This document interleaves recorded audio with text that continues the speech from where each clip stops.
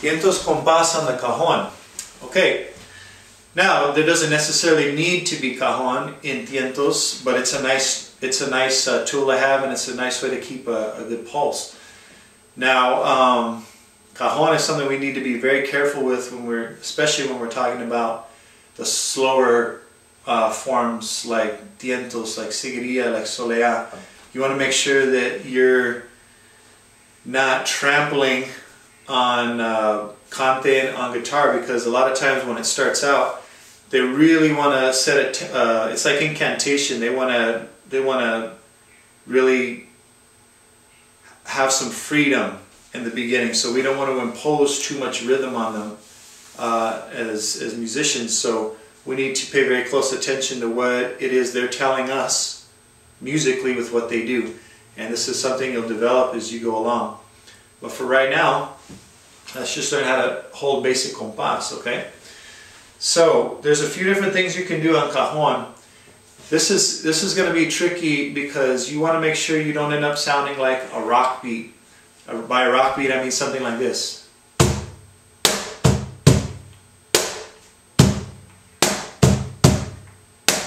Okay, that's that's something you can play in tientos, but you have to play it a little bit differently so it doesn't sound like a Led Zeppelin track. You really want to make sure that you're heavier on these bass accents and not as much on the snare. When you start hitting that snare, it starts sounding more like rock influence to influenced. We want to make sure that we produce uh, flamenco sounds to the best of our ability. So you could choose to just hold it with, without any snare at all if you wanted to just here.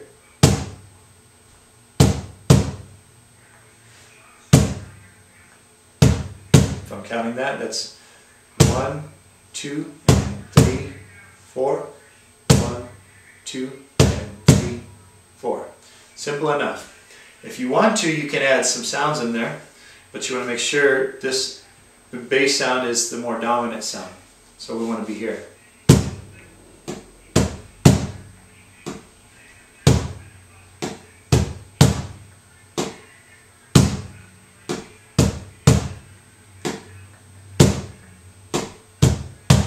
So you see for that snare, I'm, I'm just basically moving my finger like this just to keep a little tiny sound in there.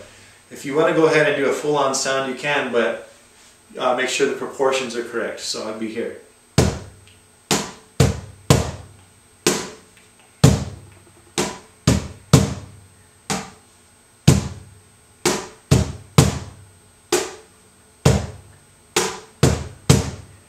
Okay.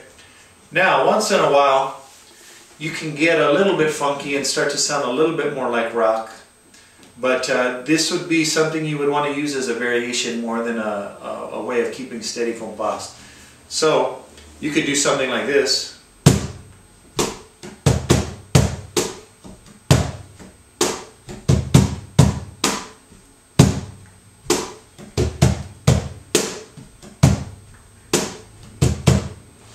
So we're doing a little now if I played it like a rock style, it would sound a lot heavier on the snare.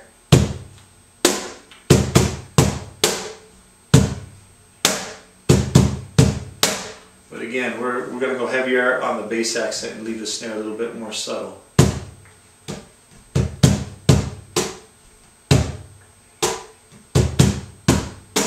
Okay. Now, let's bridge, let's, let's work on a bridge between compasses so we don't have that constant stop every time we're on four. So now we're going to take this pattern and bridge it. So we're going to play like here. A little da da boom before one. So that is right, left, one. So if I'm counting it out, I'm going one, two, three, four, and a one. One.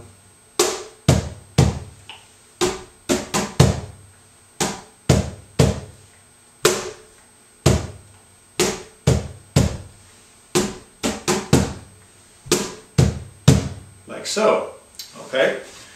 Now, um, let's say I was doing that other more uh, rockish sounding kind of temp uh, phrasing.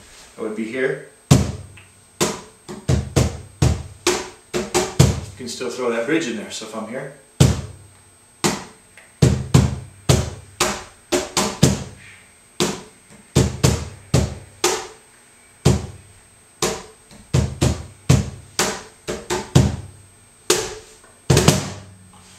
Okay, so the, what I just did there at the end, that's a common place where they throw in a little cut, okay?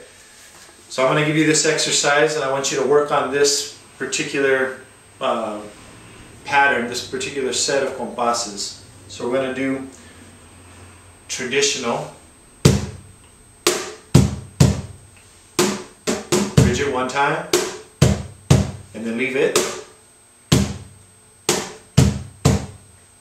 Bridge it, then roll. Okay? So, I'm counting that out, I'm going one, two,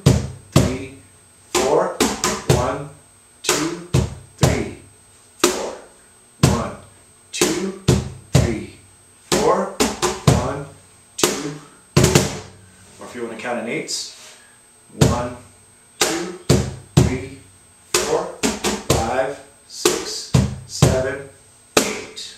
One, two, three, four, five, six, seven. Okay? So one more time to go through that. Make sure you work this pattern. I'm going to do it slowly. There'll be the uh, close-up video so you can see the articulations a little bit better and follow along.